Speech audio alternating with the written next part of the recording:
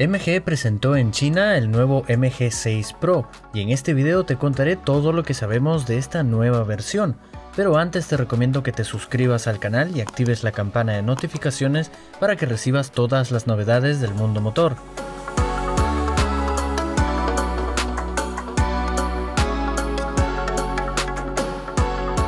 La marca inglesa, propiedad del gigante chino SAIC Motor, apuesta por una gama de modelos más dinámica y deportiva, tal como lo hizo hace poco con el MG6 X-Power, que es casi como una versión para competición, pero legal para la calle y que genera 320 caballos.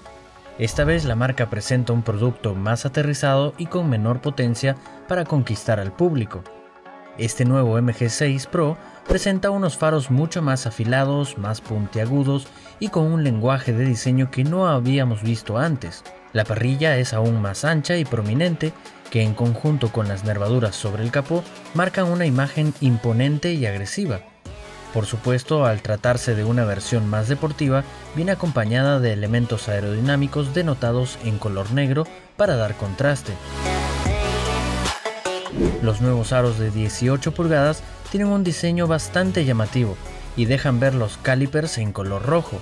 En la retaguardia resalta el difusor de aire con dos salidas de escape y el peculiar spoiler que remata su deportividad. El interior presenta asientos de tipo butaca con una tapicería blanca y negra y costuras en color amarillo.